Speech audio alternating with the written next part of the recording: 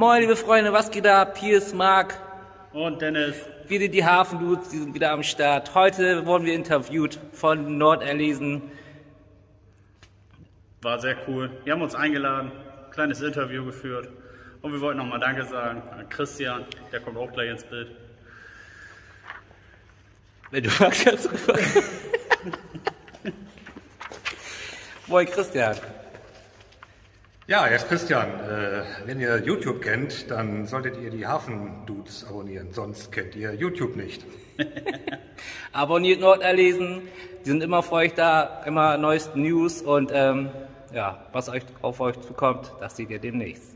Und demnächst alles über die Hafendudes auf Norderlesen, alle Details, alles Schmutzige.